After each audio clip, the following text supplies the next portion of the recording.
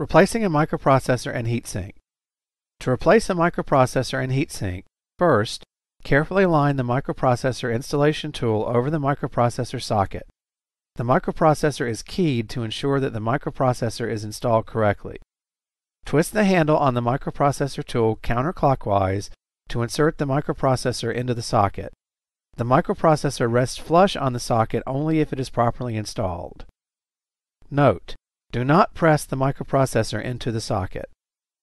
Make sure that the microprocessor is oriented and aligned correctly in the socket and remove the microprocessor installation tool. Close the microprocessor bracket frame. Make sure that you close the release lever on the left side, then close the release lever on the right side. To install the heatsink, align the tabs on the heatsink with the hole on the microprocessor bracket. Tighten all of the captive screws on the heatsink. Rotate each screw one full turn until each screw is tight. Follow the diagram on the heatsink for instruction if needed. Install the air baffles over the DIMM connectors.